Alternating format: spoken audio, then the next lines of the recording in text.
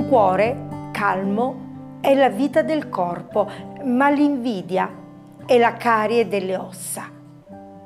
La parola invidia, in ebraico quinà, significa letteralmente ambizione smodata. Nella concezione biblica è una malattia dell'anima.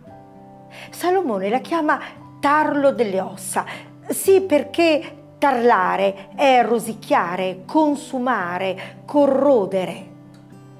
Il tarlo marcisce lentamente quello che tocca, non te ne rendi conto e quando apri gli occhi tutto è rotto. San Giovanni Crisostomo diceva, allo stesso modo in cui il tarlo distrugge i miei vestiti, così l'invidia consuma la vita. L'invidia non ti fa star male per quello che ti manca, ma per quello che gli altri hanno. Nasce dal confronto e quello che tortura l'invidioso è l'idea assurda che gli altri siano più felici di lui.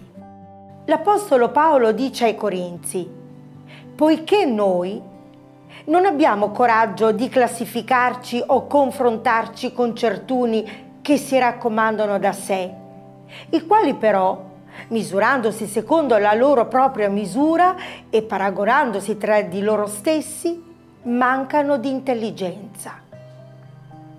La follia è il contrasto con la saggezza, è irrazionalità e controlla la vita di molte persone. Domina e soggioga le emozioni, al punto da invalidarci per la felicità.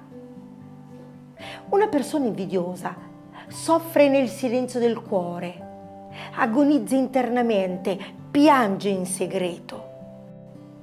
E come tante malattie, l'invidia è senza speranza. Essendo una malattia dell'anima, è chiaro che la sua cura piuttosto che mentale o emotiva è spirituale.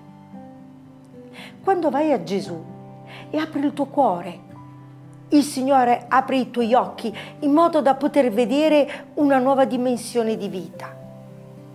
Vedi le sfide, gli obiettivi, le altre montagne da scalare e allora non serve perdere tempo a guardare di lato. La tua lotta non è con gli altri, ma è contro te stesso e allora il successo degli altri non ti farà più male e sei pronto a volare attraverso l'azzurro infinito della felicità. Tu e Dio abbiamo una lunga giornata di crescita interiore, ma non siamo soli. Non provare ad iniziare il processo di recupero da solo. Se lo fai, corri il rischio di finire nel deserto del cinismo spirituale apri gli occhi e guarda il sole e la vita. Guarda le meraviglie del creato, tu sei parte di quella meraviglia. L'obiettivo quel, della tua vita non è quella di arrivare dove arrivano gli altri, ma realizzare il piano divino per te. Sii felice perché un cuore calmo è la vita del corpo, ma l'invidia è la carie delle ossa e buona giornata.